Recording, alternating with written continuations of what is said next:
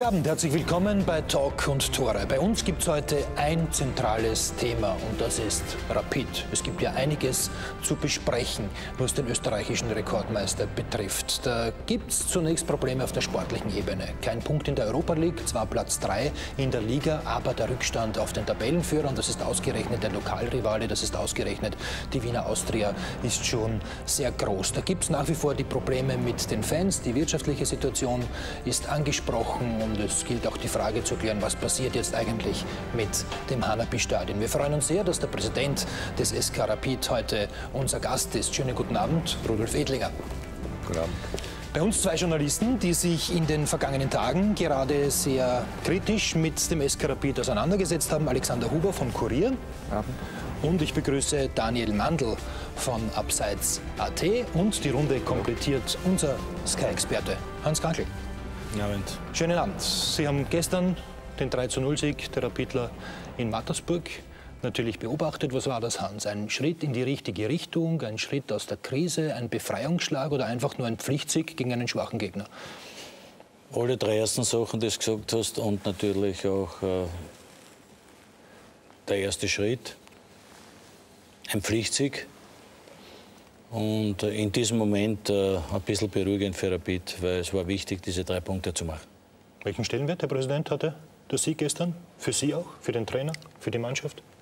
Also für mich zunächst einmal die Tatsache, dass wir drei Punkte gemacht haben, dass wir drei Tore geschossen haben und dass auch wenn gegen einen nicht gerade übermächtigen Gegner äh, es äh, doch äh, gezeigt worden ist, dass wir uns sportlich mit einer extrem jungen Mannschaft durchaus auf dem richtigen Weg befinden. Ein Weg, der riskant ist, ein Weg, der steinig ist, ein Weg, zu dem wir uns vor etwa eineinhalb Jahren entschlossen haben, nämlich vor allem jungen Spielern eine Chance zu geben. Und äh, da muss man eben ganz einfach auch Geduld haben. Und man darf aber nicht vergessen, und das möchte ich schon in dem Zusammenhang anmerken, dass wir im Vorjahr mit einer ähnlichen Mannschaft Zweiter geworden sind, dass wir in der Euroliga in der Gruppenphase sind als einziger österreichischer Verein, wenn wir auch dort einstweilen noch keine Punkte gemacht haben. Aber äh, das geht so schnell verloren. Ich weiß schon, dass Fußball eine unglaublich schnelllebige Angelegenheit ist, eine emotionelle Angelegenheit ist. Aber man soll an und für sich die Dinge, wie sie sind, äh, beurteilen und wenn es eine schwierige Phase gibt, nicht noch etwas dazulegen. Also einiges los im Westen Wiens und es gibt auch positive Dinge. Darüber werden wir heute auch natürlich reden. Alexander Huber, der Kurier, hat heute positiv getitelt. Rapid spazierte aus dem Tief. Geht das so schnell? Meiner Meinung nach, ähm, und das hätte auch, wenn das Spiel 0 zu 3 statt 3 zu 0 für Rapid ausgegangen wäre, ist das Sportliche ähm, nicht das wesentliche Problem und das merke ich auch an den vielen Reaktionen, die es momentan zu Rapid gibt. Es ist ein Teil des Problems und es wird wieder besser werden und die, die Ansprüche vieler Fans sind vielleicht auch nicht realistisch, ähm, aber ähm, die Probleme, die sich aufgestaut haben, sind eher strukturell und da ist halt dann diese junge, teilweise vielleicht auch überforderte Mannschaft ein Ergebnis daraus. Bleiben wir zunächst einmal beim Sportlichen, Daniel Mandl. Wo steht Rapid derzeit sportlich? Genau dort, wo es möglich ist. Es ist mit, mit dieser Mannschaft im Grunde nicht mehr drin als der dritte Platz hinter Austria und Salzburg. Und das ist dadurch möglich gemacht worden, dass äh, der Verein immer wieder die Erwartungshaltung bewusst niedrig hält, bewusst sehr durchschnittlich agiert zum Beispiel auf dem personalpolitischen Sektor, aber eben, wie der Alex Huber gesagt hat, eben auch im, im strukturellen Bereich und ich sage einmal von ganz oben hinunter. Hans Krankel, fehlt dieser Mannschaft die Qualität? Mhm, wenn sie, wenn sie komplett ist, wenn sie komplett ist, dann fehlt ihr nicht die Qualität in Österreich. Dann können sie vorne mitspielen. Mein Meistertitel ist wahrscheinlich schwierig. Ansonsten, wenn sie komplett sind, äh, würde es gehen. Wenn's, wenn, wenn sie ein bisschen Ausfälle haben, dann gibt es Probleme, dann ist äh, die Qualität nicht so vorhanden. Aber was, stö was stört und was, was, was, was auch mich stört, ist das, äh, das habe ich schon oft gesagt, Rapid äh, darf ganz einfach nicht in, in, eine, Mittel, in eine Mittelmäßigkeit verfallen. Das, das darf nicht sein. Und in letzter Zeit, äh, wenn halt schlechte Resultate sind oder eine schlechte Zeit ist wie jetzt, fällt Rapid in die Mittelmäßigkeit. Und das darf nicht passieren. Rapid darf niemals ein Sparverein sein. Rapid darf niemals, auch das habe ich schon gelesen, ein, vor allem Sparen ist okay, wenn man kein Geld hat, das geht ja noch. Aber Rapid darf kein Ausbildungsverein sein. Und ich habe auch schon sehr oft gelesen, dass Rapid ein Ausbildungsverein ist. Das darf nicht sein, dass man den einen oder anderen guten Spieler, der überdurchschnittlich bei Rapid gut spielt, dann weiterverkauft und einen Gewinn damit macht. Das ist kaufmännisch okay, das ist auch in Ordnung. Aber Rapid äh, ist so eine Marke und hat so eine Tradition und ist so ein Verein, äh, der darf kein Ausbildungsverein sein. Ja, Steffen Hofmann bleibt Rapid erhalten. Bis 2016, Dreijahresvertrag Richtig, hat ja. er bekommen. Gestern hat es endlich einen Sieg ohne ihn gegeben. Ja, was beweist, dass wir nicht nur auf den Hoffmann angewiesen sind, äh, was mich sehr freut. Aber ich möchte vielleicht doch eine Bemerkung zu dem Gesagten machen. Es ist ungeheuerlich schwierig, in Österreich einen Verein zu führen, der sich einerseits einer bestimmten Tradition verpflichtet fühlt und auf der anderen Seite sich nicht an einen Eigentümer verkaufen möchte. Ich möchte nur ein ganz Beispiel sagen. In den elf Jahren, in denen ich Präsident des SK Rapid bin, sind sechs verschiedene Vereine österreichischer Meister geworden. Zweimal war das Rapid, einmal war es der GAK, Sturm Graz, Innsbruck. Diese drei Vereine sind unmittelbar nach ihren Meistertiteln entweder in Konkurs, in Ausgleich gegangen, relegiert worden, an gibt es gar nicht mehr, mehr. Präsidenten sind strafrechtlich verurteilt, der nächste große Prozess in Graz folgt noch. Und die anderen zwei haben zur ersten Zeit den de facto Eigentümer Straunach mit dem Sack voll Geld und in der zweiten Phase Salzburg mit Mateschitz mit dem Sack voll Geld gehabt.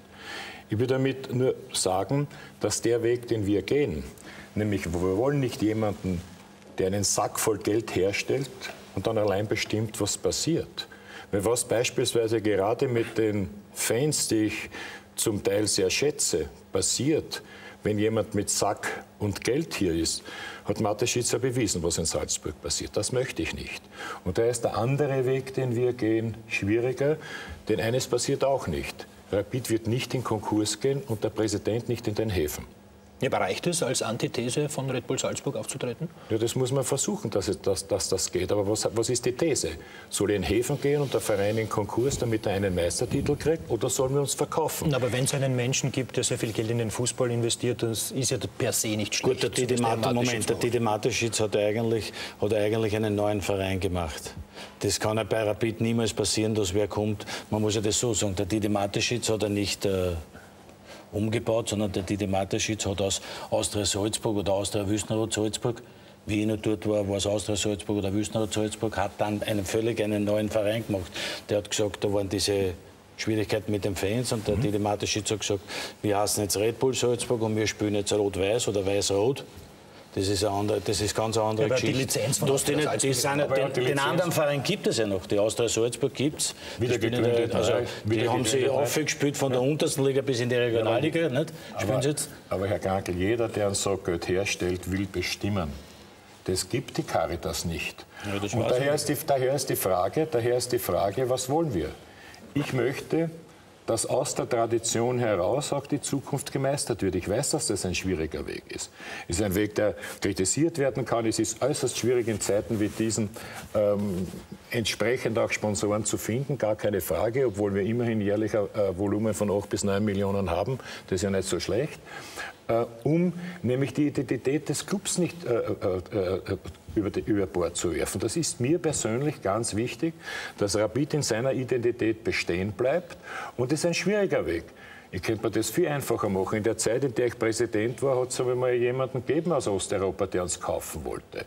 Na, nach dem zweiten Gespräch war ich weg, weil ich genau gewusst hätte, was der, was der machen will aus dem Verein nämlich eine, ein, ein, ein, ein Sprungbrett für andere Aktivitäten, die es in Westeuropa zu realisieren gibt. Und das spielt es mit mir nicht. Es gibt aber andere Vereine, zum Beispiel auch wie Bayern München, als sehr positives Beispiel, wo nicht einer kommt mit, viel, mit einem Sack voll Geld und Allah bestimmen wir. Bei Bayern ist es so, dass die Bestimmung immer beim Dreigestirn ist. Ja, ja, da gibt es den Franz Beckenbauer, der sich jetzt im Hintergrund hält, aber trotzdem Ehrenpräsident ist. Es gibt den Uli Hoeneß, der der starke Mann. Es gibt den Karl Rummenigge und es gibt einen Trainer, der zu bestimmen ist. Der Trainer ist in dem Fall gar nicht wichtig, weil dieser Verein, dieser Verein bestimmt mit dem Dreigestirn, was dort passiert. Und den Trainer holen sich dann. Das ist einmal der Heinkens, einmal der Van Gaal, einmal der Mourinho und einmal ein anderer. Das mit einem 15-fachen Budget von Rapid. Also ja. das ist ganz einfach nicht vergleichbar, Herr Kranke. Ja, aber Sie Wir haben Sponsoren. Und Sie ja. haben Sponsoren gesucht, Bayern München. Und hat ja, Bayern München hat ja auch nicht immer so viel Geld gehabt. Und Bayern München hat Sponsoren gefunden. Leute, wie Sie sagen, das sind halt Konzerne, aber es sind immer erst Konzerne. Es ist ja nicht einer, der Mateschitz ist ein Konzern haben Leute gefunden, die mit einem Sack voll Geld kommen, aber die bestimmen nicht. Weil bestimmen? Dann bei den Bayern. Und wo, bei welchem Verein, ich bin kein großer Bayern-Fan, jeder, der mich kennt, weiß das, aber trotzdem, welcher Verein ist besser geführt wie Bayern München in Europa? Und was haben die erreicht? Mit einem Dreigestirn, wo sind drei ehemalige Weltklasse-Spieler, drei ehemalige und jetzige Persönlichkeiten, die den Verein führen, mit vielen anderen Leuten, die im Hintergrund arbeiten für die drei, aber bestimmen und reden dann nur die drei und die führen diesen Verein. Und da ist einer gekommen mit, mit vielen Säcken von Geld auf die vielen Jahre. Gibt aber auch eine AG-Struktur der beteiligten Natürlich, Firmen, wie zum Beispiel Natürlich. und so. Reden wir mal vielleicht. Ist, ja, ist Bayern das München ist, Das vielleicht? ist ein Firmenimperium, das sich da im, im Laufe der Zeit auch äh, entwickelt hat von einem, äh, äh, in einem Wirtschaftsraum, der unvergleichbar ist mit unseren und auch mit Geldern, die der Verein hat, die unvergleichbar sind. Allein wenn man die Fernsehgelder anschaut, die Bayern kriegen 28 Millionen vom Fernsehen, ich kriege eine. Über Sie war immer so ja? viel Free TV. Ja, das hat er nämlich nicht. Ja, also wenn Sie 28 Millionen herlegen, dann bin ich sofort für, für Sky äh, hundertprozentig und in jener Minute. Ich es weiter aber für, eine, aber für eine Million muss man schon sagen, das kann man ganz einfach nicht vergleichen. Hier sind völlig andere Rahmenbedingungen gegeben und Sie werden in Österreich einen Verein, der ein solches Wirtschaftsimperium aufzubauen imstande ist, nicht finden. Das wird da nicht gehen. Ich habe den Eindruck, dass Rapid einen Spagat versucht, der sich nicht mehr ausgeht. Es ist sehr ehrenhaft, dass ein 72-jähriger ehrenamtlicher Präsident mittlerweile fast täglich ausrückt, um verschiedene Baustellen zu beackern. Ich nehme an, Sie haben jetzt wahrscheinlich ähnlich viele öffentliche Termine wie in Ihrer Zeit als Politiker. Sie machen das ehrenamtlich und die Baustellen werden aber nicht weniger. Mein Eindruck ist, dass Sie dieses System, das Rapid ungefähr vor 15 Jahren so aufgestellt hat, dass sich das nicht mehr ausgeht. Es ist einerseits dieser ganz bewusste Traditionsgedanke und wir verkaufen uns nicht und das Hanapi-Stadion ist das Hanapi-Stadion und wir sind Rapid und wir gehören nach Hütteldorf und wir wollen uns nicht aufkaufen lassen. Das beschränkt natürlich die Einkommensseite. Andererseits will man aber nach wie vor, so wie es der Name Rapid in Österreich verlangt, ganz vorne dabei sein. Das geht sich vielleicht einmal aus, wenn es zum Beispiel, so wie damals unter Peter Backel, einen legendären Lauf im Frühjahr gibt mit einem 7 zu 0, was nie wieder passieren wird. Aber im Grunde kann es sich eigentlich nicht mehr ausgehen. Und deswegen ploppen jetzt da, dort und da die Probleme auf. Es gibt ein baufälliges Stadion, es gibt eine Mannschaft, die wesentlich weniger Qualität hat als die von Salzburg, ganz logisch, die haben viel mehr Geld und trotzdem gibt es noch diesen Anspruch von Rapid. Und dann meine ich, man müsste entweder offen sagen, es geht sich nicht mehr aus, wir müssen die Ansprüche herunterschrauben, oder wir stellen uns neu auf und sagen, wir ändern was. Das, das, das glaube ich, ist momentan das Problem von Rapid.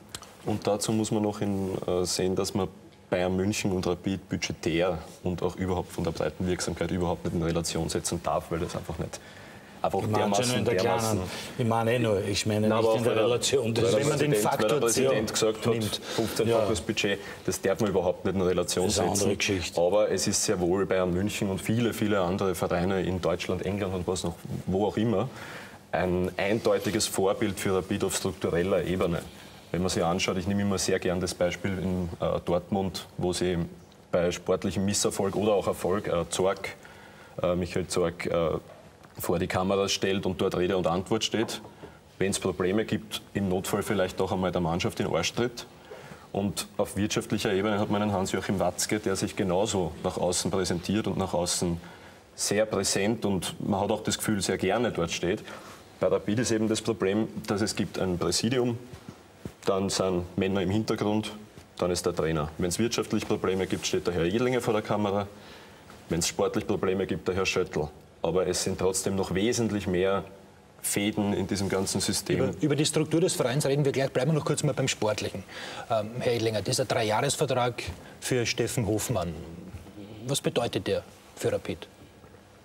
Ja, der bedeutet, dass ein sehr wichtiger Spieler, ein Spieler, der innerhalb und außerhalb des Spielfeldes eine hervorragende Persönlichkeit ist, an den Verein gebunden ist und äh, dass das zumindest auch ein Signal dafür ist, dass äh, wir ihn wertschätzen, dass es auch ein Signal dafür ist, äh, dass wir, soweit ich das aus heutiger Sicht sehen kann, auch später in der Zeit nach seiner Fußballkarriere mit Steffen Hoffmann rechnen als einen ganz wichtigen Bestandteil des Vereines, äh, der nach außen auch wirken kann und der durch seine Intelligenz und auch äh, durch sein Charisma, Charisma verblasst zwar, das ist mir schon klar, äh, Wesentliches für den Verein leisten kann. Das ist ein ganz wichtiger Bestandteil.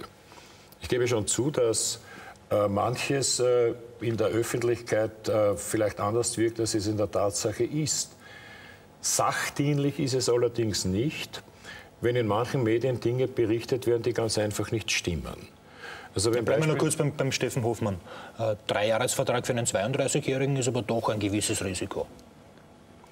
Ja, mir wird, mir wird ja vorgeworfen, ich sei nicht Risiko. Ich, ich bin nicht bereit, Risiko einzugehen. Also Sie gehen jetzt mehr Risiko? Ich glaube nicht, dass das ein Risiko ist, weil ein Mensch mit 32, der auch einen so äh, tadellosen Lebenswandel führt, der kann schon bis 35 auch äh, Fußball spielen. Vielleicht nicht mehr auf dem Zenit, aber jedenfalls in einer Art und Weise, der für den Verein äh, wichtig ist. Und ich sage noch einmal, er ist als Fußballer wichtig, aber er ist auch als, äh, als ganz toller Charakter wichtig für den Verein. Und daher habe ich das gemacht. Ja, und Steffen Hofmann ist enorm wichtig für Rapid, ist eine Identifikationsfigur. Und äh, welchen Stellenwert er innerhalb der Mannschaft hat, das hat man ja gerade in den vergangenen Wochen gesehen. Ohne ihn hat es überhaupt nicht funktioniert. Mit ihm hat es den einzigen Sieg gegeben gegen Salzburg. Aber gestern hat es dann auch ohne ihn endlich geklappt, Markus Klimmer. Sonntag in der Früh, Audienz beim verletzten Mannschaftsführer. Steffen Hofmann, Frühaufsteher, auch am Sonntag? Ja, notgedrungen. Daheim, in aller Ruhe, sieht er das 3 zu 0 und atmet schließlich kurz durch, wie alle seine Kollegen auf dem Feld auch. Ein Sieg gegen Mattersburg und alles ist wieder gut? Nein, das nicht. Ich glaube, es war ein, ein sehr, sehr wichtiger Sieg für uns. Ähm, wir haben wieder mal ein Erfolgserlebnis gebraucht. Das haben wir uns, haben wir uns gestern geholt. Und ähm, ja, jetzt wissen wir aber trotzdem, dass es äh, in den nächsten Wochen schwierige Aufgaben kommen und auch da müssen wir punkten. Ein Sieg, der nicht blenden darf. Denn man kann nicht so einfach vergessen. Die jüngsten Pleiten, der Fanprotest gegen Wolfsberg, der auch gestern anfangs seine Fortsetzung findet. Neun Punkte Rückstand auf die Austria, die an der Spitze steht, sind es immer noch. Zu viel für den Rekordmeister. Der Kader von Rapid vielleicht doch, in Anführungszeichen, zu schlecht für ganz oben. Ich glaube nicht, dass, dass, er zu schlecht ist für ganz oben. Ähm, das Einzige ist, wir haben sehr, sehr viele junge Spieler im Kader und wenn dann einige Spieler ausfallen oder ein Tief haben, ähm, die, die vielleicht wichtig sind, dann, dann kann es eng werden. Ja. Hätte sich nicht auch deswegen in der Mannschaft strukturell einmal etwas ändern müssen? Das Spiel fast gänzlich vom auch schon 32-Jährigen abhängig. Fehlt Steffen Hofmann, fehlt meist, so auch zuletzt der Erfolg. Hätten Sie als Vereinsboss mit Steffen Hofmann verlängert? ja, ich denke schon. Äh, ähm, ich glaube, dass ich nach wie vor ein, ein, guter Spieler bin, ein wichtiger Spieler bin für die Mannschaft und ähm, jemanden zu finden auf die Schnelle, der meinen Part übernimmt, ähm, ist erstens nicht leicht und zweitens ähm, auch nicht billig. Man hätte ja zum Beispiel sein üppiges Gehalt in mehrere Spieler investieren können, denn? Ja, das kann ich mir auch gut vorstellen, dass ich der bestverdienste Rapidler bin. Unter der Woche eine Stunde Pressekonferenz. Kurzfristig, aber tut sich nichts. Abgesehen von einem Bekenntnis des Präsidenten. Peter Schöttl ist und bleibt Trainer. Und der bekommt einen Sportdirektor vor die Nase gestellt. Im Winter gibt's neue Spieler, das Stadion. Ist eine Sanierung zu teuer? Vielleicht doch ein Neubau? Man weiß es nicht. Ach ja, Zukunft, die nahe Zukunft, Europa League. Eine Reise nach Norwegen steht an. Die Unruhe wird sicher bleiben, egal wie das Spiel dort ausgeht. Ähm, Dafür brauchen wir jetzt einen, bräuchten wir einen richtigen Lauf, dass wir da wieder positiv rauskommen bis zum Winter. So ist das bei Rapid. Danke Steffen Hofmann für die offenen Worte am Sonntag in der Früh. Ja, Hans Krankel, hätten Sie Steffen Hofmann einen Dreijahresvertrag gegeben? Auf die Frage habe ich gewartet. Wie ein Geier auf die gewartet. Zwei Dinge. Ich schätze den Hof, Steffen Hoffmann sehr und ist ein wichtiger Spieler von Rapid und ich hätte ihn auch weiter verpflichtet. Ich hätte ihm keinen Dreijahresvertrag gegeben. Nein, das ist zu lange für einen 32-Jährigen und äh, er ist auch äh, schon ein bisschen verletzungsanfällig. Trotzdem ist er wichtig für Rapid und ich hätte ihn absolut weiter verpflichtet, aber nicht für drei Jahre. Herr Edlinger, ähm, Sie haben jetzt gesagt, Sie gehen mehr Risiko. Sie sind äh, bekannt als jemand, der auch in der Öffentlichkeit dann hin und wieder genau das Richtige sagt zu einem richtigen Zeitpunkt. Ähm, wie lange ist der Vertrag mit Steffen Hofmann eigentlich ausgehandelt? Weil der Zeitpunkt der Bekanntgabe war ja irgendwie nicht. dann doch ein Ablenkungsmanöver, oder? War ja eine ungute Situation nach dem Wolfsburg-Heimspiel. Na, überhaupt nicht. Wir haben äh, eigentlich äh, vor, ich glaube, eineinhalb Wochen uns das erste Mal diesbezüglich zusammengefunden. Die Vorstellungen, die der Steffen Hoffmann hatte, waren hoch anständig.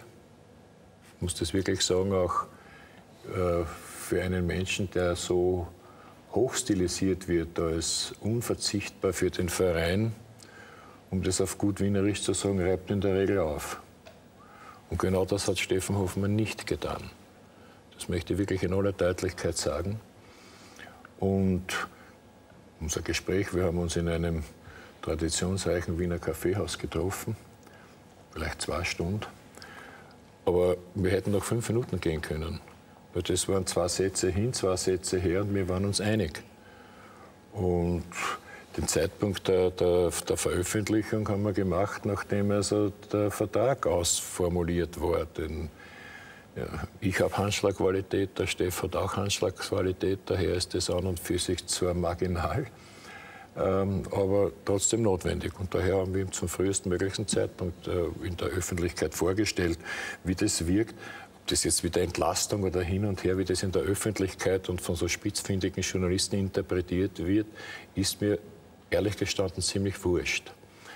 Äh, wenn ich ununterbrochen auf alle Zurufe von Journalisten ähm, reagieren würde, äh, hätte ich schon längst einen Herzschlag bekommen. Und das würde ich mir eigentlich ersparen. Was mich an und für sich in der Journalistik stört, nicht die Kritik, überhaupt nicht. Ich bin ein sehr kritikfähiger Mensch, ich bin auch tolerant. Viele im Stadion, die auf anderen Tribünen sitzen, sagen mir, sagen, wieso lässt du das gefallen, dass da also im eigenen Stadion mit Spruchbändern und etc. gegen Vereinsführung etc. vorgegangen ist. Das sind aber nicht die Journalisten. Nein, andere, andere die im Stadion sitzen. Meine Haltung ist, jeder hat eine freie Meinungsäußerung. Mich stört das eigentlich nicht. Was mich stört ist, wenn Falschmeldungen, gezielte oder solche, die ganz einfach von irgendjemandem, der irgendetwas verfolgt, in die Öffentlichkeit kommt und Herr Huber, seien Sie mir nicht böse, der Artikel über die, über, die, über, über die 120 Millionen, wo Rapid nicht zugegriffen hat, da sind Sie ganz... Also Sie, Sie sprechen ein Stadionprojekt an. Moment, ich, schauen Sie, ich habe ja das, ich hab das wirklich Also mitgenommen. Nicht, nicht zugegriffen. Ich, ich möchte, steht, steht nicht drinnen, Herr, Herr Edlinger. Also es geht um einen Artikel, den Alexander Huber geschrieben hat im von Kurier vornherein. am vergangenen ich, ich Donnerstag. zeige Ihnen. Wenn ich das das ist, im Kopf Das habe. ist der, der, die vergebene Stadionchance. Und dann wird ein Projekt kritisiert, wir hätten eine Chance vergeben. Dieses Projekt schaut so aus, vielleicht kann man das in die Kamera zeigen. Das ist das Stadion und das ist Moment, das sieht man, geben Sie es mir kurz, ich werde es in die Kamera halten. Also das ist das Stadion. Das ist das Stadion und das ist das Projektgebiet. Vom Projektanten, der jetzt gar keine Freiheit, warten Sie, ich muss das aufklauen. Vom Projektanten, der gar keine Freiheit hat, dass das so in der Öffentlichkeit, mit dem haben sie gar nicht geredet, sondern nur mit dem Lobbyisten, der ein Rapid-Fan ist, der vielleicht gar keine so eine schlechte Meinung hat. Aber schauen Sie, wie das Projektgebiet heißt.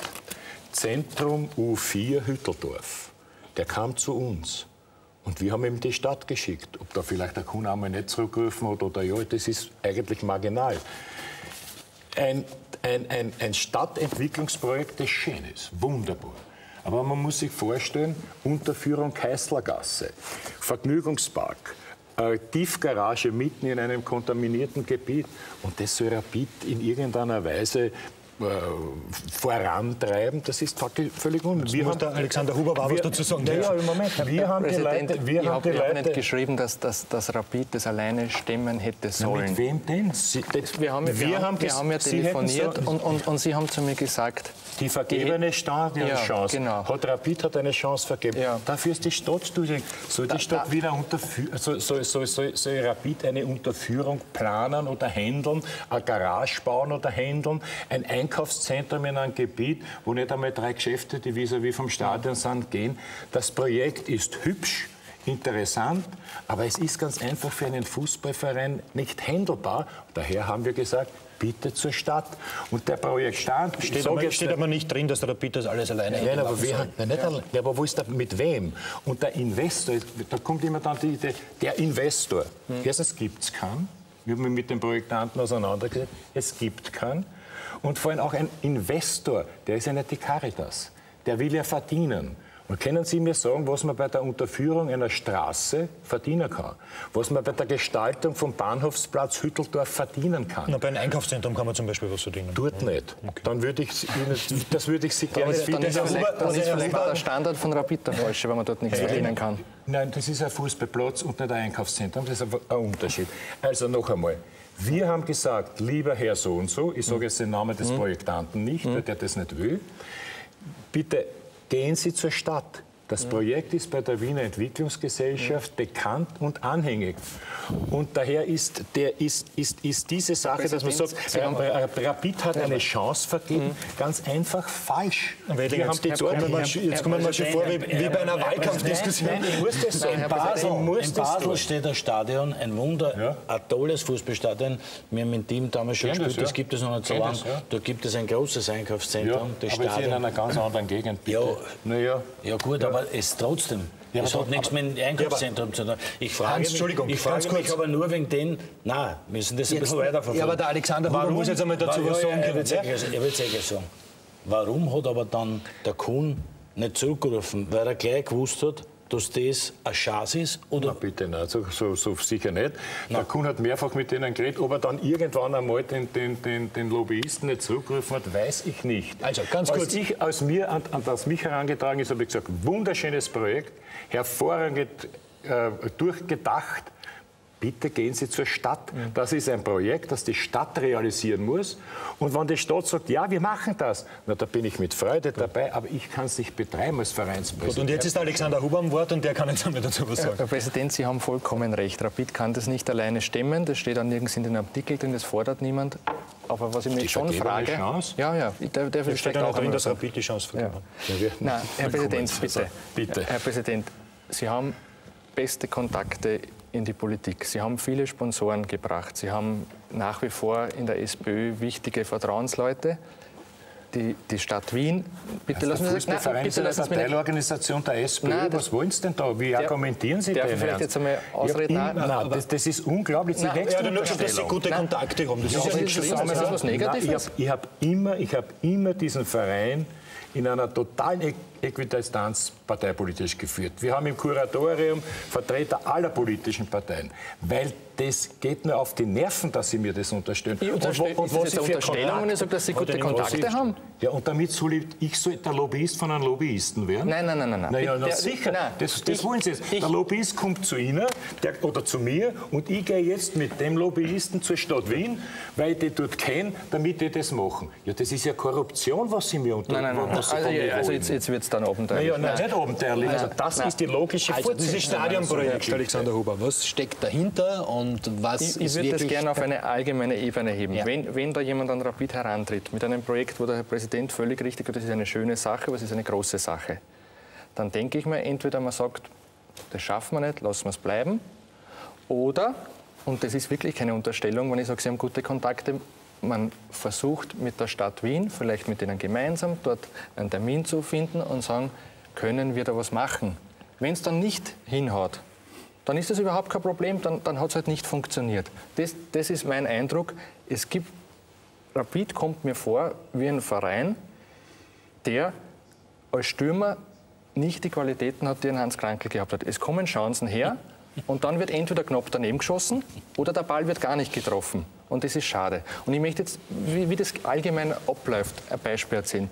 Letztes Jahr, wir haben ein paar Mal deswegen telefoniert, ist sind Leute aus dem Verein auf mich zugekommen und haben gesagt, in der Kabine schimmelt's. Und ich denke mir, das kann nicht sein. Das ist ein, ein, ein Verein mit 30 Millionen Euro Umsatz ungefähr. Das gibt es ja nicht. Da arbeiten jeden Tag Menschen, da kann es nicht schimmeln. 20 Dann, Millionen. Europa League, letzte, letzte, ja, Europa League, le, le, letzte, letzte Mitgliederversammlung waren es 33. Ja.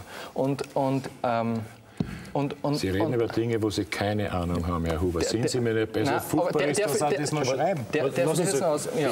dann, dann habe ich mit mehreren aus dem Verein gesprochen und die haben mir das bestätigt, dass da ein Problem gibt, dass teilweise sogar die Spieler woanders behandelt werden, weil sie schon Angst gehabt haben, vielleicht gibt es da irgendwelche Infektionskrankheiten.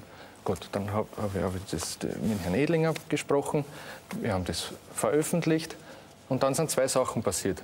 Das eine ist, es sind die Leute gefragt worden, wer hat da mit dem Kurier gesprochen. Das gibt es ja nicht, sowas darf nicht rausgehen. Und das Zweite war, die Kabine ist umgebaut worden, ist saniert worden, ist neu eingerichtet worden und das Problem ist jetzt behoben. Ich sage, sowohl eins als zwei ist auch legitim. Nur die Frage stellt sich für mich, warum muss es überhaupt so weit kommen? Bei einem Verein wie Rapid, Warum muss, muss, da überhaupt so ein Problem besprochen werden, vielleicht dann auch gezielt an eine Zeitung getragen werden, dass das schimmelt? Das sind so grundsätzliche Probleme, Probleme, wo ich mir denke, das sollte nicht passieren. Passiert aber immer wieder in, in ähnlicher Form. Und, und das, glaube ich, ist bei, bei eurem persönlichen Einsatz, äh, Sie wissen das ja, ich, ich, schätze das, wie Sie sich da reinhauen ehrenamtlich. Nur es geht sich einfach irgendwie scheinbar nicht mehr aus. Und da denke ich mir, man muss vielleicht sich überlegen, ob man sich anders aufstellen kann, ob man vielleicht die Struktur ändern kann oder ob man sagt, okay, wir sind halt nicht mehr das Rapid, das früher mal alle zwei Jahre Meister geworden ist, wir müssen ein bisschen runterfahren von den Erwartungen. Das ist, glaube ich, das grundsätzliche Problem.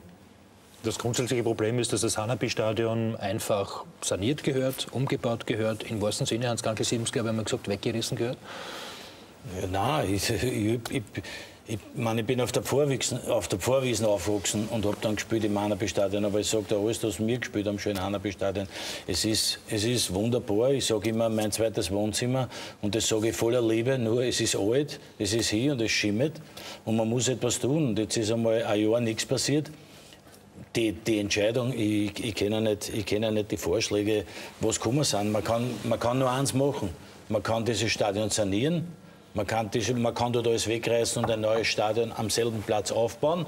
Oder es hat einmal Kassen, dass draußen, wo die Autobahnen, wo die Autobahn rausgeht und einer geht, in der Mitte wäre ein Platz und man könnte dort ein neues Hütteldorfer Stadion hinbauen, weil wir in Hütteldorf bleiben wollen, was grundsätzlich hundertprozentig in Ordnung ist. Also die drei Sachen gibt es, obwohl ich nicht weiß, ob die, die, die dritte Sache der Wahrheit entspricht. Bleiben wir mal und, in, beim, beim und in dieser Zeit und, diese, und in dieser Zeit, wo das Stadion saniert wird oder wo man es niederreißt und baut ein neues auf, wenn man das darf, muss man halt woanders spielen, das ist klar. Und das besprechen wir jetzt schon oder wird besprochen seit eineinhalb Jahren, oder? Irre mich? Oder sage ich zu viel? Und das ist ganz ja. einfach, es ist zu lange. Du weißt, wo sich, du weißt, wo sich wir zwei, wo die Visagistin kommen mit Ding, wie es dort stinkt in der Kabine, das ist die 21 Kabine, ich kenne das. Das ist nicht lustig. Ich bin dort auch, wirklich, ich habe dort auch gespielt und bin dort aufgewachsen. Das ist nicht lustig. Und dort gehört einmal was gemacht und das dauert alles zu lange. So wie er sagt, das sind so viele Dinge, das dauert zu lange. Und er hat vollkommen recht. Wenn ich das her, ich habe die Geschichte nicht kennt.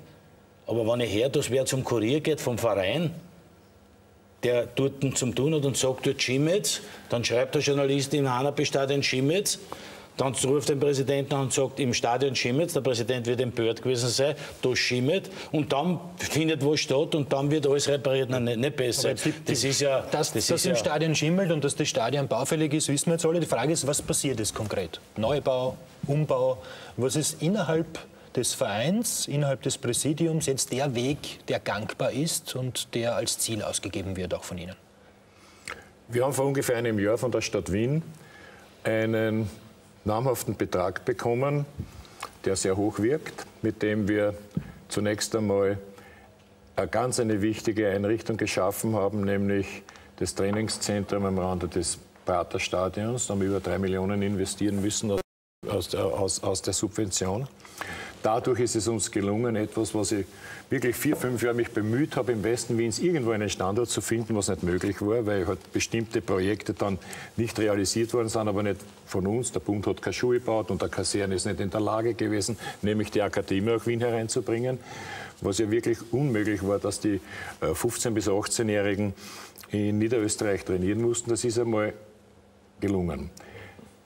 Der zweite Auftrag mit dem Gemeinderatsbeschluss gab es einen Auftrag, nämlich die Sanierung und Erweiterung des Stadions. Wir wussten, es ist ein Altstadion. Und wenn, wir haben dann im Juli das Stadion in Bacht übernommen und damit übernehme ich auch die Verantwortung, die eine völlig andere ist, als wenn das die öffentliche Gebietskörperschaft ist. Würden Sie das heute Darauf wieder tun mit dem Wissen? Ja, selbstverständlich würde ich es wieder tun, weil, weil im, im Bereich der öffentlichen Hand das aus vielen Gründen viel länger dauert muss ich es ganz ehrlich sagen, was haben wir gemacht? Wir haben unmittelbar, nachdem wir das Stadion, nämlich die Subvention bekommen haben, 17,7 Millionen genau für die Sanierung und Erweiterung des Stadions, nach Ausschreibung ein sehr renommiertes österreichisches Wiener Institut gebeten, äh, eine genaue Bestandsaufnahme des Stadions vorzunehmen, weil ich eines nicht wollte. Was verteuert viele Projekte, die dann in der Öffentlichkeit diskutiert wird? Dass man mit einer oberflächlichen Betrachtung sagt, der Altbestand passt schon. Und dann im Zuge der Renovierung der Aufbau gesagt, das gehört noch gemacht und das gehört noch gemacht. Und dann hast du eine Verdoppelung der Baukosten oder, oder, oder. Das ist nicht angenehm in der öffentlichen Hand. Gibt es dann möglicherweise Diskussionen, aber irgendwo kommt dann das Geld her. Wenn das ein Privater, und wir sind ein Privater, tut, dann kann er sich aufhängen.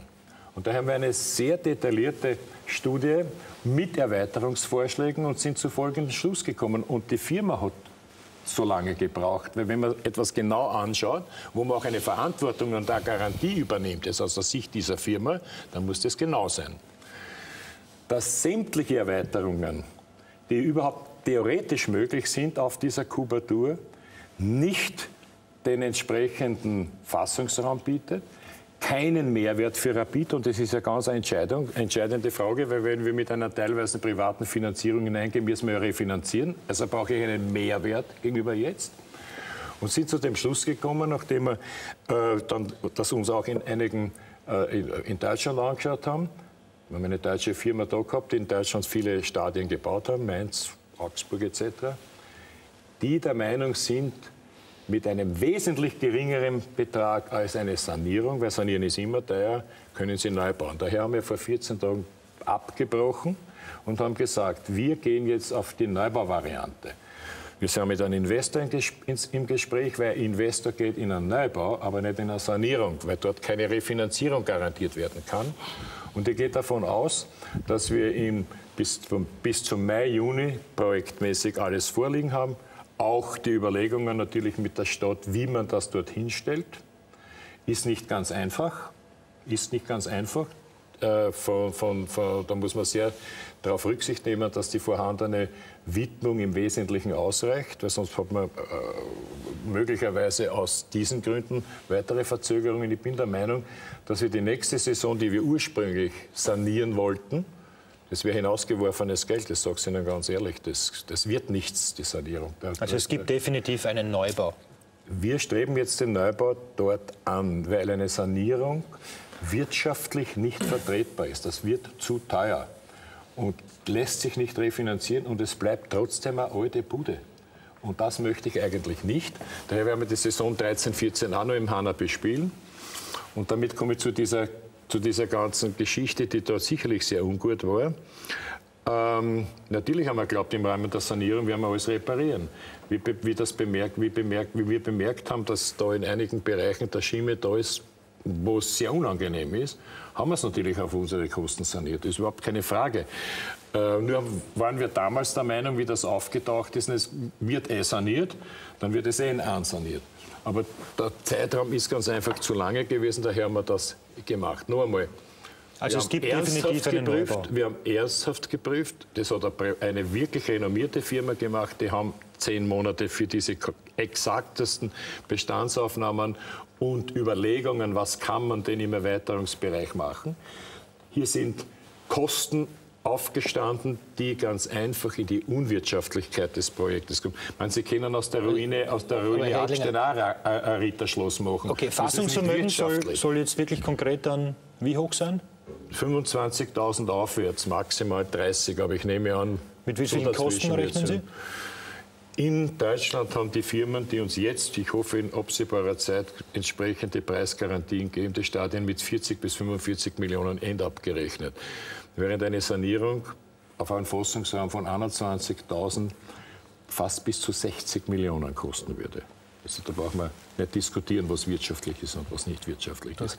Also Aber eins möchte ich schon sagen, wir haben uns wirklich bemüht, hier sehr seriös vorzugehen. Ja, Natürlich dauert das immer lang und wenn einer von draußen zuschaut, dann sagt er, Herr, Sie machen da, da überhaupt nichts. Weil, weil, weil halt der, der, der zuschaut, auch keine Ahnung hat, wie lange Bautechnik, ich war ja mal im, im, im Baugeschäft tätig, also auf der politischen Ebene. Ich weiß, wie lange das dauert und wenn Sie sich die Zeit nicht nehmen, dann haben Sie hinten auch die Baukostenüberschreitungen. Gut. Also die Rapid-Fans werden froh darüber sein, es gibt einen Neubau des Hanapi-Stadions, wie immer das dann auch heißen wird, diese neue Arena. Ist das auch die Gelegenheit, den ich Verein... Kurz sagen, ja. durch diese Verzögerung, ich glaube, Sie haben das bei der Pressekonferenz erklärt, verzögert sich auch das Akademieprojekt. Das, das ja, die Akademie hat die Akademie läuft, es, es, verzögert sich nur die Tatsache der Halle, die, die ja. fehlt. Wenn ja. wir jetzt nicht eine Halle hinbauen und dann, dann mhm. wir das Stadion eingebaut und dann steht ja, es woanders sinnvoller. Es gibt die Trainingsplätze, die sind saniert, es sind die Nachwuchskabinen saniert. Wenn gebaut wird, ist es möglich, dass wir zwischenzeitlich mit der Akademie arbeiten müssen. Das Muss das jetzt sein. das Ziel sein, den Verein auf eine völlig neue strukturelle Basis zu stellen? Selbstverständlich. Denke ich auch, ja. Auf jeden Fall. Und äh, es fängt, wie gesagt, komplett oben an. Es fängt an bei der, bei der Außendarstellung und bei der Kommunikationsfähigkeit des Präsidiums.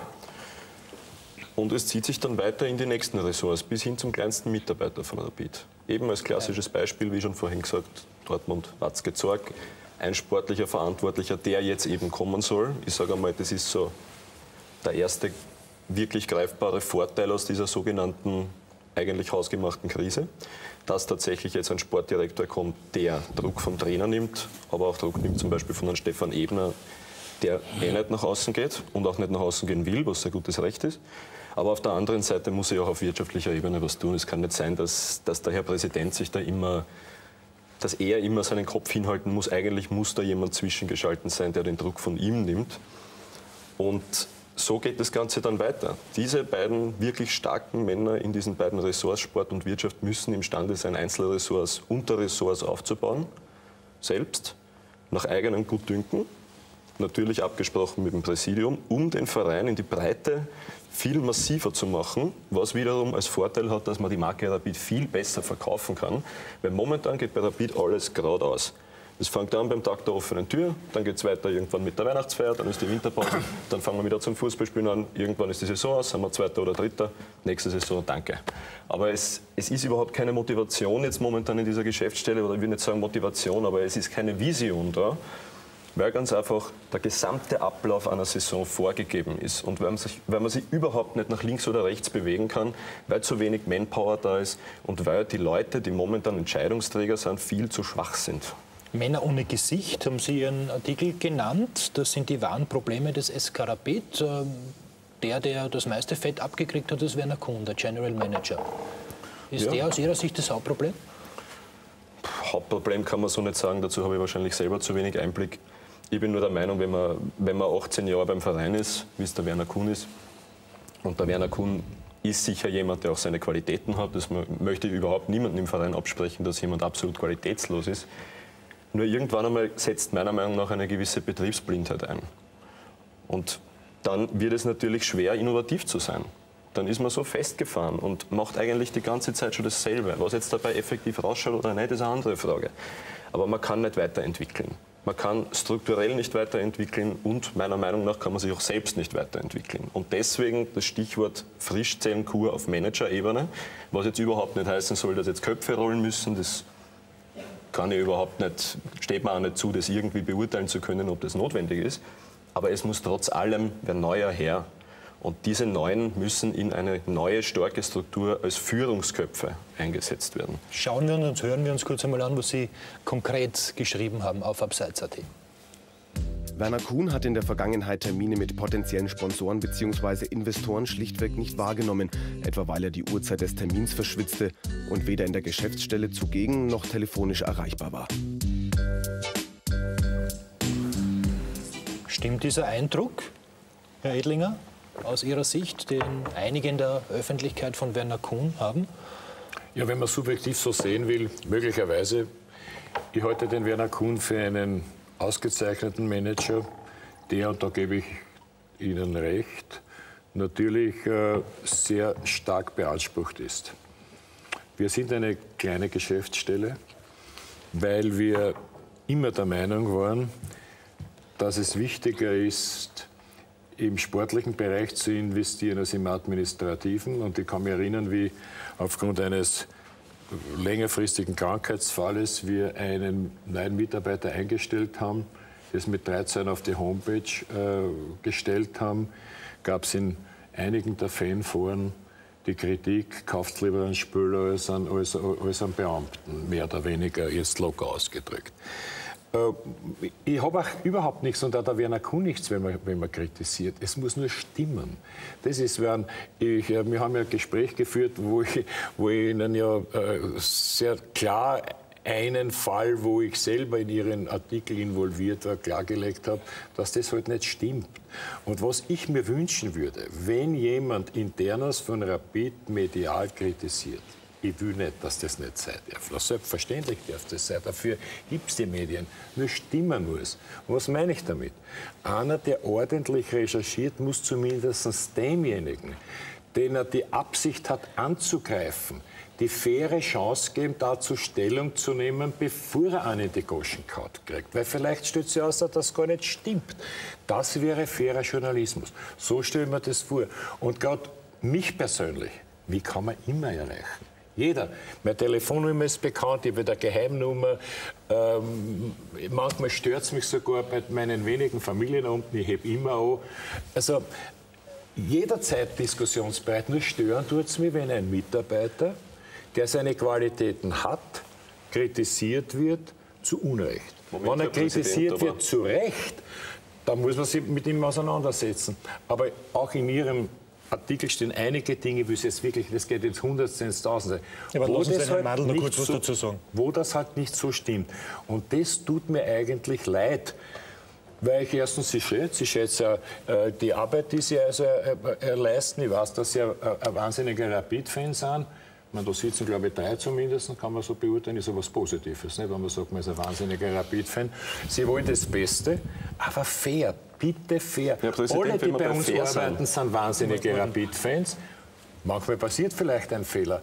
Reden wir doch drüber. Ja, ist gut, dann reden wir drüber. Wir haben jetzt, Sie haben jetzt gerade gesagt, es geht um Rechtfertigung und es geht um ein konkretes Beispiel in meinem Artikel, wo Sie sagen, es stimmt nicht. Was stimmt nicht dran? Wie war es wirklich? Es stimmt beispielsweise Ihre Darlegung, äh, dass wir bei Emirates äh, was, irgendwas verschlampt hätten, nicht. Wie war es wirklich? Ja. Es war wirklich, war, wir waren dort, es hat, ich war selber dort, ich zwischen den Weihnachtsfeiertagen hinuntergeflogen. Wir haben ein hochrangiges Gespräch geführt mit Vertretern der, der, der Emirates, war was von der politischen Ebene dort dabei. Waren sehr beeindruckt, ich bin eigentlich sehr optimistisch zurückgekommen. Nachricht kommt von der Wiener äh, Repräsentanz und dort ist uns ein paar Wochen später mitgeteilt worden, die Emirates haben kein äh, gesteigertes Interesse am Standort Wien. Gut, Damit das hat aber einen Grund gehabt. Das weiß ich nicht. Na, den, den Grund wissen Sie, den Grund sagen Sie nur nicht. Na, ich weiß ja nicht. Also was, was ist der, der Grund? Grund? Der, Standort, der Standort Wien, der Standort Wien, das hat mit uns nichts zu tun. Das ist, da ist es ja gegangen um eine Marketingaktion von Emirates. Ja, aber da ist es, es ist ja nicht so, Herr Präsident, bitte, es ist ja nicht so, dass äh, Werbung so funktioniert, dass man eingeladen wird von jemandem und derjenige sagt dann, hey, ihr seid super cool, ihr seid ein toller Verein, wir wollen auf eure Brust, da habt 5 Millionen. Da geht es ja um verschiedene andere Sachen, da geht es ja um Networking, da geht es ja um Zusammenhänge wiederum und die, der Nutzen der Firma Emirates tatsächlich nicht nur als Trikotsponsor, sondern auch zum Beispiel im Flugverkehr in Wien. Nur das ist ja nie kommuniziert worden und das bekrittelt ja auch so in diesem kommuniziert Verein. worden? Na, selbstverständlich ist das kommuniziert worden. Na, selbstverständlich, wie können Sie das sagen? Natürlich haben wir äh, äh, versucht, auch äh, am, am, am, am, Flughafen entsprechend auszuloten, was gibt es für Möglichkeiten. Das kann ich doch nicht, das kann doch ich nicht beeinflussen im Das Wesentlichen. hören wir aber jetzt sie- zum ersten Mal wieder.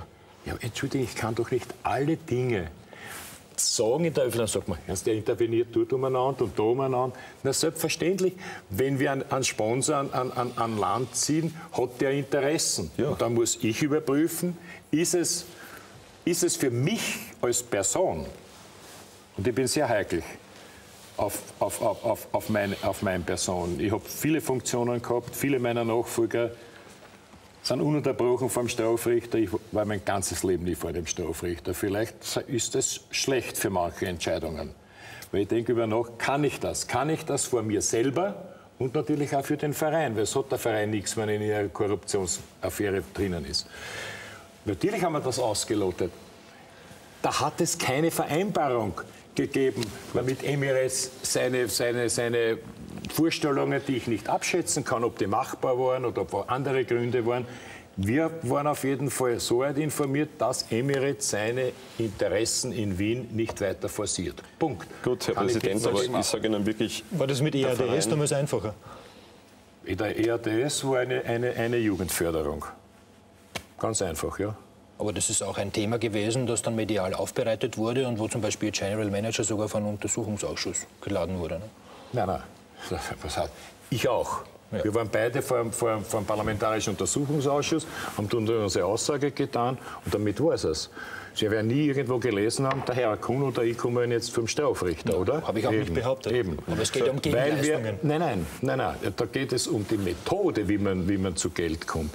Eins sage Ihnen, es, es, es gab nie irgendetwas und es wird auch im letzten Jahr meiner Tätigkeit nichts geben, wo der Rudi Edlinger irgendwo vor eine, eine Sache macht, die unredlich ist. Das schaut nämlich nicht nur mir als Person, das schaut auch mein Verein. Und das werde ich sicherlich nicht machen, selbst dann, wenn man mich möglicherweise dort oder da durch weniger informierte Journalisten in die Goschen hat. Dann nehme ich lieber das in Kauf, bevor ich fürchterliche Troubles an den Verein ablade oder auf mich selber. Ganz einfach, das ist meine Haltung und das habe ich mein ganzes Leben so vertreten. Und ich bin damit nicht schlecht gefahren. Ich bin immerhin 72 Jahre und habe noch nie eine Unredlichkeit begangen. Und da wäre ich nicht einmal rot, wenn ich Ihnen das sage. Wegen, wegen der, wegen der ERDS-Sache, das ist, ich, ich ich finde das Ganze schon eigenartig, weil Sie sind ja laufend in, in, in Kontakt gestanden, aber der, der Rainer Flecken, damaliger Kollege, hat ja im, wann war es, 4. Juni, auch mit ihren Zitaten, den Werner Kuhn zu den Ausschüssen, äh, zu, den, zu den Aussagen im Urausschuss bezüglich Eurofighter und ERDS erklärt, dass da das, was Sie gesagt haben und was er dort gesagt hat, nicht zusammengestimmt hat, was Sie auch deutlich gesagt haben. Es ist verjährt, ich sage das ganz offen, also ga- ganz klar, das war fünf Jahre Verjährungsfrist, weil es ist ja eigentlich dort Wahrheitspflicht. Es war knapp fünf Jahre und ein paar Monate danach ist es rausgekommen. Ist aber dann trotzdem für mich eine Frage, ob das nicht auch moralisch oder vielleicht in anderen Sponsorgesprächen ein Problem ist. Was heißt das jetzt? Der Präsident hat nicht gelogen und der Kuhn hat gelogen oder wie? Der Herr Stimmt Präsident, ja nicht. Das stimmt ja nicht. Das ist ja anders. Beim Untersuchungsausschuss da liegen die Protokolle auf. Weil wenn da der Herr Kuhn und ich was anderes gesagt hätten, dann wäre das den Parlamentariern dort aufgefallen, oder? Glauben Sie nicht? So. Sie sind im Parlament. Der Herr, der. Herr Kuhn, der Herr Kuhn, hat, ist da, doch gesagt, der Herr ne? Kuhn ist da, nein, der Herr Kuhn ist da fünf Jahre später von einem Kurierredakteur gefragt worden und hat sich auf manche Dinge nicht mehr präzise erinnern können. Nach fünf Jahren. Dass, dass das richtig ist. Also nicht im Untersuchungsausschuss hat er was anderes gesagt wie ich, sondern in der da fünfjährigen Darstellung später ha- hat er sich nicht präzise erinnern können. Das ist der Punkt. Das, das, das sind so zwei Paar Schuhe, oder? Ja, Oder? ich hab, Nein, ich sag's nur. Nicht? Ich mein, hat damit überhaupt nichts zu tun. Aber dass es immer wieder Kritik an Werner Kuhn gibt in den vergangenen Wochen, ist vielleicht aufgrund dieser Geschichten auch verständlich, oder? Noch einmal, Kritik gibt es an jeden. Ich möchte, gern einen, ich möchte gern einen Menschen kennen, den man nicht kritisieren kann. Sie können mich kritisieren, ich kann Ihnen kritisieren, ich kritisiere dass wir immer die Rapid in die Goschen hauen, aber sonst das macht ja nichts. Äh, Der Herr Krankel kann man auch kritisieren. Ich mag ihn, er ist ja eine Galionsfigur des SK Rapid. Jeden kann man kritisieren, kritisiert es mich. Aber bitte wahr. Es ist wahr, Sie mögen Rapid nicht. Das ist wahr. Daher kann ich sagen, Sie wollen uns nicht. kann man das also, Herr Präsident, dann, dann, muss man kritisieren, was, das ist die was, die zwei jungen, was die zwei jungen Kollegen sagen. Diese, von diesen Sachen äh, weiß ich zu wenig und kann ja nichts sagen, aber die haben das recherchiert oder nicht. Auffallend ist, dass Rapid nicht, ich sage es jetzt einfach, weil ich von diesen Sachen nichts weiß und mich nicht auskenne und eben darüber auch nicht reden will, weil ich nichts weiß. Wir sind zu wenig modern. Ist das einfach ausgedrückt? Danke. Wir sind hinten nach. Herr Präsident, das hat nichts mit Ihrem Alter zu tun, mit 72. Ich bin auch schon älter, ist kein Problem, aber wir sind nicht mehr modern genug. Und anscheinend ist der Kuhn nicht mehr modern genug, weil er die Sponsoren oder Investoren oder Lobbyisten und wie die alle hassen, sind heute schwierig in dieser Zeit, weil er die nicht zurückruft oder nicht zurückrufen will. Wir sind zu wenig modern. Ich sage jetzt ein anderes Beispiel, weil die Zeit es vergeht also leider Gottes so viel Zeit. Ein, ich nehme jetzt ein Sport, ich gebe Ihnen ein sportliches Beispiel. Habe ich gelesen in einer Zeitung vorige Woche, war ich erstaunt von Stefan Ebner, der wirklich nur ein kleiner Sekretär ist und brav und viel arbeitet. Ich weiß, ich kenne das eh alles, wie der brav arbeitet und alles ist super. Der sagt in einer Zeitung, Rapid hat das beste Scouting-System nach Red Bull Salzburg. Okay, das sind die Reichen, die kennen wir eh. Wissen wir beide am allerbesten. Rapid hat das zweitbeste Scouting-System und sagt im gleichen Nachsatz, das Scouting-System ist der Anton Herzog Vater und der Friedrich Riedmüller. Nicht besser. Für das gehört ihm schon vom Verein eine Knackwatschen vom Präsidenten vom Feinsten. Wenn ich sage in einer Zeitung, das modernste Scouting-System nach Red Bull Salzburg oder Rapid, der Herzogvater und der Friedrich Riedmüller. Und dann hat er noch gesagt, sie haben jetzt den Nikolaus Narura, der ein Freund von mir ist, der in Salzburg mein Sportdirektor war, als ich dort Trainer war. Ein Afrika-Experte, ein super Mensch, den haben, mit dem haben sie noch nie geredet oder nur ein paar Mal geredet, ist eh nichts rausgekommen. Und das ist das modernste Scouting-System nach Salzburg, also da nicht besser. Das sind, so, das sind so Kleinigkeiten, sportliche.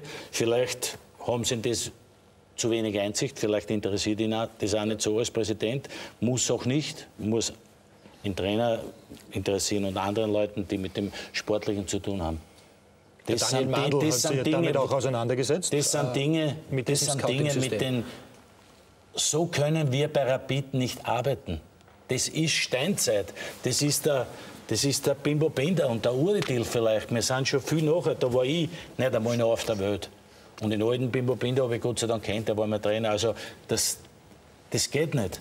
Ich muss da kurz einhaken, weil der Thomas gesagt hat, ähm, dass ich mich mit dem Scouting-System auseinandergesetzt habe. Ähm, es ist halt so, man muss, man muss immer differenzieren zwischen Scouting-System und den Menschen, die es betreiben. Man kann ein sehr gutes technisches System haben, wenn man die falschen Leute haben, die damit durchaus, mag sein, ja. mag ich jetzt nicht in Frage stellen.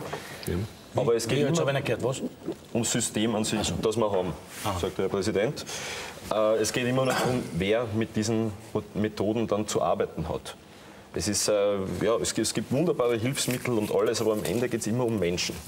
Und um Menschen, die eben in dieser aktuellen Struktur betriebsblind worden sind. Und da geht es jetzt eben nicht nur um eine Person in dem Verein. Da geht es von ganz oben bis ganz unten. Und da einzelne Ressorts, jedes einzelne, oder sagen wir nicht jedes einzelne, es gibt sicher Ressorts, die sehr gut arbeiten bei der BID, ist überhaupt kein Thema, aber es gibt so viele Baustellen in diesem Verein, die von Grund auf verändert werden müssen. Scouting ist eben durchaus auch ein Thema, ist auch meine Meinung. Und äh, ja, meiner Meinung nach geht es um Menschen. Ja, und jetzt soll immer ein neuer Sportdirektor kommen. Bis Weihnachten? Also ich, möchte, ich, möchte so, ich möchte so noch. Und na, ganz bleiben wir noch Nein, ich, ich muss, ich muss, Aber das, über das Scouting-System, glaube ich, brauchen Nein, wir jetzt nicht diskutieren. Ich will das ja nicht über das System reden. Wir haben natürlich selbstverständlich äh, auch alle Methoden, die es äh, über Internet etc. gibt. Das kennen wir dann, das ziehen wir heran. Ich sage nur einmal, man kann Leid kritisieren. Aber, Herr Mandl, es gibt auch so etwas, vielleicht geht es in unserer Gesellschaft wirklich verloren äh, wie ein, ein, ein bestimmtes Maß an Respekt vor dem anderen. Und wenn Sie beispielsweise über den Herzog, der Nationalbilder war, Trainer war, der in den Jahren ist, oder den Herrn Reit Müller, der lange Trainer war, dann in Ihrem Internet sagen, Sie sind ganz einfach nicht Bundesliga tauglich. Ich kenne Ihre Arbeit. Dann Sie sind nicht Bundesliga tauglich, dann ist es eine Diktion, die mir absolut nicht taugt, weil man den Menschen wirklich wehtut. Und ich weiß nicht, ob sich die Gesellschaft so hin entwickeln soll, dass man sie ununterbrochen wechselweise wehtut.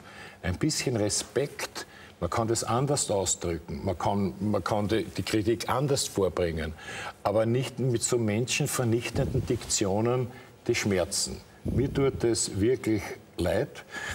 Wir haben, uns, wir haben ja ein längeres Gespräch auch über verschiedene Dinge geführt. Ähm, vielleicht äh, nehmen, vielleicht denken Sie über das eine oder andere auch nach, was ich, was, was ich Ihnen gesagt habe. Äh, ich glaube, dass Sie wirklich ein Rapid-Fan sind.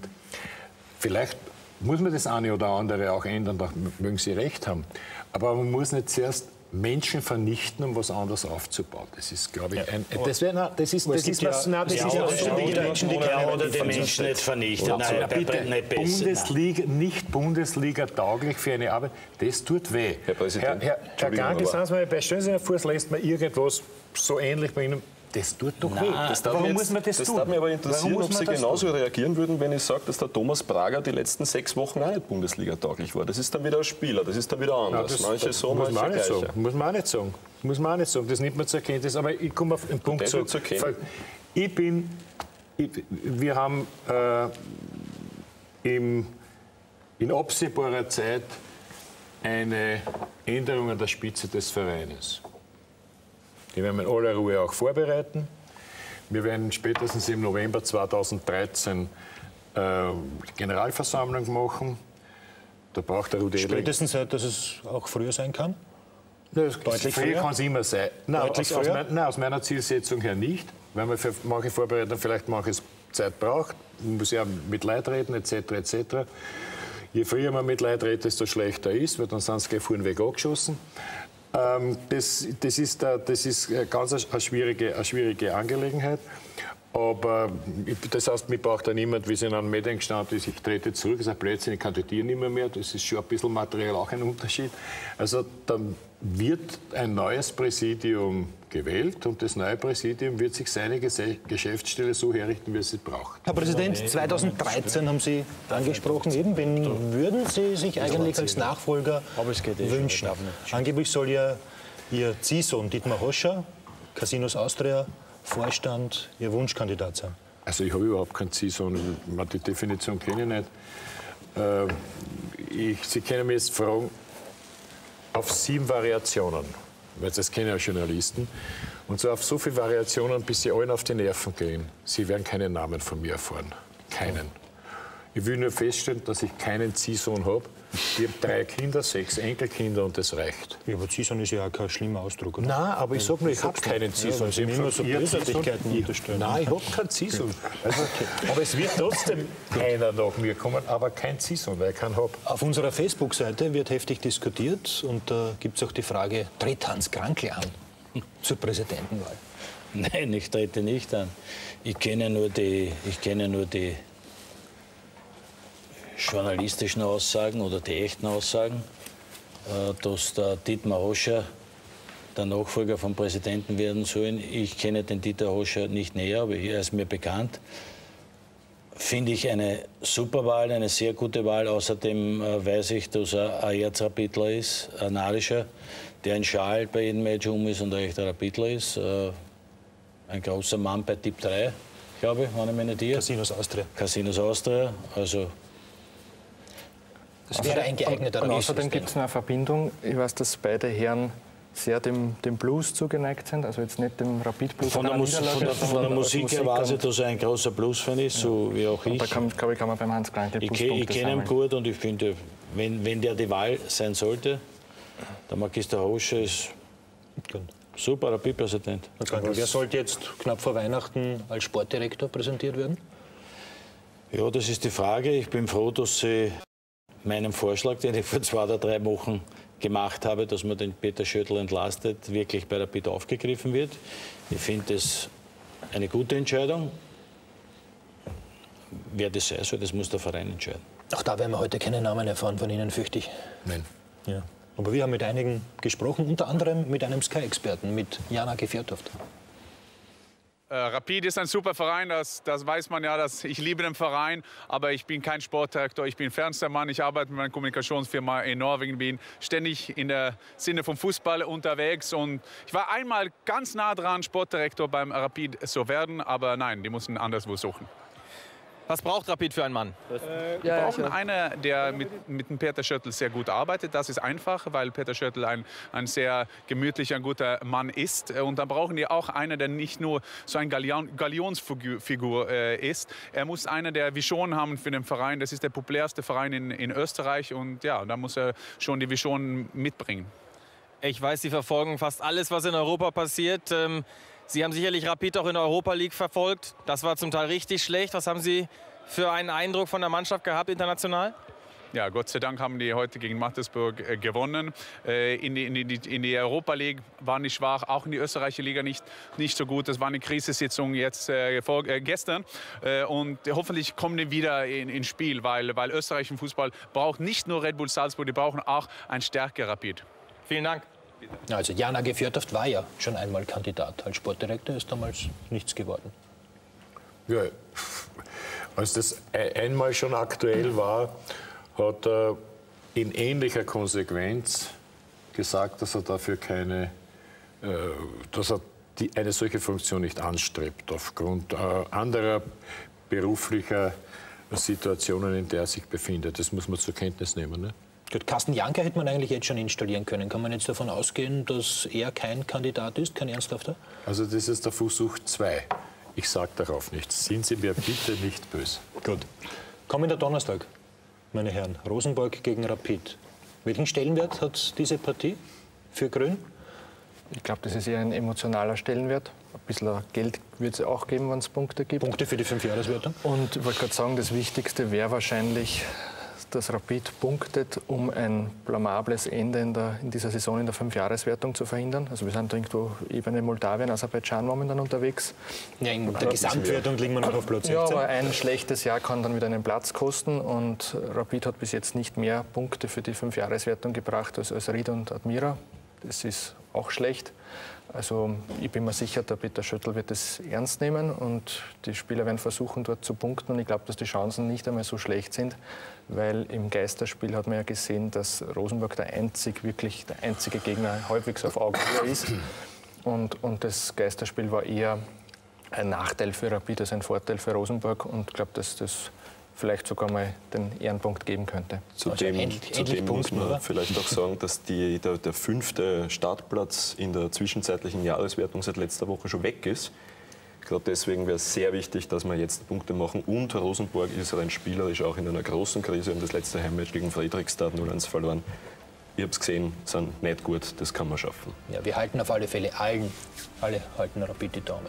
Ich kann es besonders. Dankeschön auch am Donnerstag. Dankeschön. Herr Präsident, herzlichen Dank. Es gäbe noch einige Themen zu besprechen. Vielleicht kommen Sie wieder mal vorbei bei uns und dann reden wir noch über die Fanproblematik, was sich da im Stadionbereich so getan hat, wer dann Sportdirektor wird Kein und so weiter. Problem. Herzlichen Dank für den Besuch heute. Herzlichen Dank, meine Herren. Das war Talk und Tore. Morgen